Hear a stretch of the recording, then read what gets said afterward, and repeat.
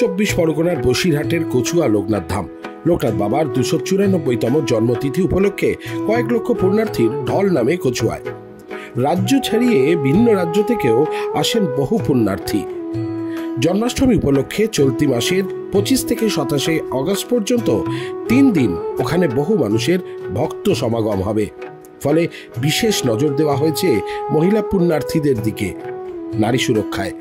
জেলা শাসক শরৎ কুমার দ্বিবেদী সহ পুলিশ সুপার মেহেদি হোসেন রহমান ও মহকুমার শাসক আশিস কুমারের সঙ্গে খাদ্য সরবরাহ দপ্তরের কর্মদক্ষ বুলবুল ইসলামরা আজ বিশেষ আলোচনাও সারলেন। দেখুন, আমরা সব দেখলা দেখছি এখানে যেভাবে আটো সাটো একেবারে কড়া নিরাপত্তার ব্যবস্থা তৈরি করা হচ্ছে প্রশাসনের পক্ষ থেকে। প্রতিদিন প্রশাসন এখানে অবজারভেশন করছে। এবং আশা করছি মানুষের নিরাপত্তা নিরাপত্তা সুনিশ্চিত করার জন্য যা যা পদক্ষেপ নেওয়ার দরকার পুলিশ প্রশাসনের পক্ষ থেকে সমস্ত রকমের পদক্ষেপ এখানে নেওয়া হচ্ছে বা এখানে একদিকে যেমন পশ্চিমবাংলার বিভিন্ন প্রান্ত থেকে আসে, সমস্ত জেলা থেকে অন্য অন্য রাজ্য থেকেও আসে এবং বিদেশিরাও এখানে আসে। মানে বহু পুণ্যার্থী এখানে আসে, ভিন্ন রাজ্য থেকে যেমন আসে, ভিন্ন দেশ থেকেও এখানে বহু পুণ্যার্থীরা এখানে আসে। সময়ে যে এখানকার মেলা হয়, ওটার প্রিপারেশনটা রিভিউ করার জন্য ডিএম স্যার নিজে এসেছিলেন এসপি বসিরহাট ছিলেন। বিভিন্ন লাইন ডিপার্টমেন্টের ভারপ্রাপ্ত সিনিয়র অধিকারীরা ছিলেন।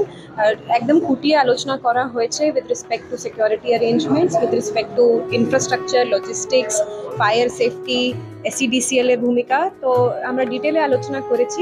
আশা করছি যে আমরা এখানে যারা ডিভোটিসরা আছে, আসে, এত ভালো সময়ের, আর, একটা সুন্দর মেলা হয়। আমরা আশা করছি সেফলি সিকিউরলি আর খুব ভালোভাবে আমরা এখানে অর্গানাইজ করাতে পারব। আমাদের সিকিউরিটি অ্যারেঞ্জমেন্ট শুধু মহিলা নয়, ওইদিকে তো আমাদের বিশেষ নজরই আছে। কিন্তু সবারই জন্য আমাদের এক্সেসিভলি সিসিটিভি ডিপ্লয়মেন্ট থেকে watch tower deployment drop gate সবই করা হয়েছে। যেটা এটা সুন্দরভাবে সাম্প্রতিককালে কলকাতায় অভয়াকাণ্ডে দেশের সর্বোচ্চ আদালত রাজ্যে নারীদের নিরাপত্তা নিয়ে উষ্মা প্রকাশ করেছে। রাজ্য প্রশাসন নিরাপত্তার ফাঁকফোকর তাই রাখতে চাইছে না এবছরে কচুয়ার উৎসবে।